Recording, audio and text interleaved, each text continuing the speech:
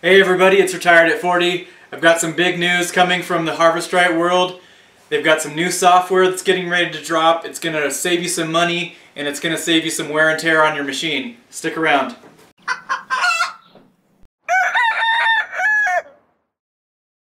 So I've heard quite a bit of feedback from you guys on my other videos about asking me if I pre-freeze my food, how much of a difference it makes, and I really haven't put a whole lot of thought into it until really in the last few weeks. So I've been trying to pre-freeze my food and put it into the freeze dryer, see if it makes a difference.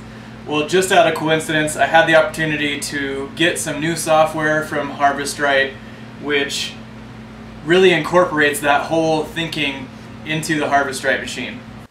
So what some of you may have never noticed is that there is a USB here on the side of the machine. And what that allows is a technician or you, the buyer, to be able to do a software upgrade or basically talk to the computer inside of the machine. This new software, from what I understand, is going on some of the new machines and in the near future will be available as an upgrade to older machines. So the first major difference you're going to notice about the software is just your home screen is a different color. Obviously your version is uh, a different version and if you go to customize and then adjust cycle times, that's where you're going to notice your first major difference. And you'll notice that there's not a freeze adjustment on here anymore. It's just a final dry adjustment.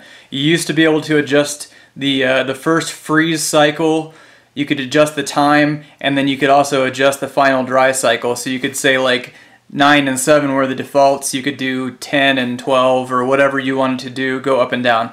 Well, now you're only needing to adjust your final dry. So if you click Start, that turns your machine on and it's going to ask you if your food is pre-frozen or not frozen.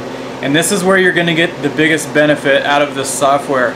Because if you pre-freeze your food and select pre-frozen, what that's going to do we're going to shut the door here. It's going to cool down your chamber for half an hour before it asks you to put your food in. So that's going to save you a lot of time because that freeze, that initial freeze on your freeze dryer is 9 hours. Being able to skip out on most of that first cycle is going to save your machine a lot of wear and tear because it's cutting out basically 8 hours of having to pre-freeze something that you can just, you already have a freezer at home, you can go stick it into a freezer anywhere, a deep freeze or the freezer in your, uh, in your refrigerator. And it's also going to save you a lot of money because that machine is running for 8 hours less every time you do a cycle. So I've run about 3 cycles through mine with the new software in it. I've seen some big improvements already. The time definitely is less and now you actually can see the temperature in the corner of your screen of the chamber, which is kind of cool. The first time I ran the new software, I got a little bit freaked out because the new software actually uses the vacuum pump as part of the cooling system, which helps the food get colder faster. The new software also allows the machine to sense the cooling in inside the machine, which means you don't have to think about it. And since that food is getting colder and getting colder faster, it actually helps the dry process. So now that our half hour pre-freeze is done, we're going to add our frozen food and press start.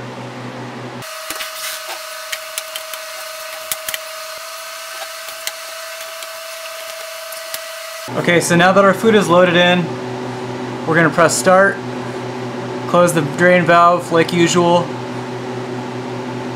and then we just go to freezing. So the next difference you're going to see is that it's it's telling you the temperature inside the chamber, so negative 4 Fahrenheit. And what this does is it now senses the temperature of the chamber, so you don't have to. And that's why it eliminates that first cycle of the freezing. So just having this in here about 30 seconds to a minute, it's already dipping down in temperature because of that cold food that I've put in, so it's sensing that it's going down in temperature. And it will still do a freezing cycle, but it's usually very short and then it will move into that middle drying cycle like you're used to.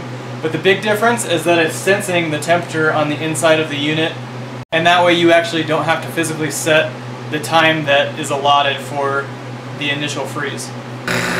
Okay, so this just kicked on, and now you can see that it kicked the freezing time down to 4 hours and 29 minutes, and it will actually keep going down from there pretty quickly. So it's already knocked about 4 hours off of the freeze time.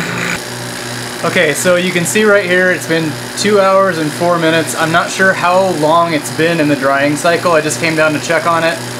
Um, so right off the top, that's uh, that knocked 7 hours off if not more. I don't know how, how long it's been in the drying cycle. Since when I first started to chill the chamber uh, until now is 2 hours and 4 minutes.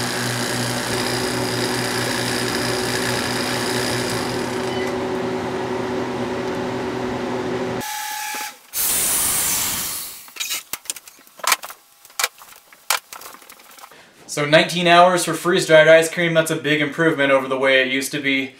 The only difference that you the, as the user have to make is install the software or buy a machine that, uh, that has it already in it.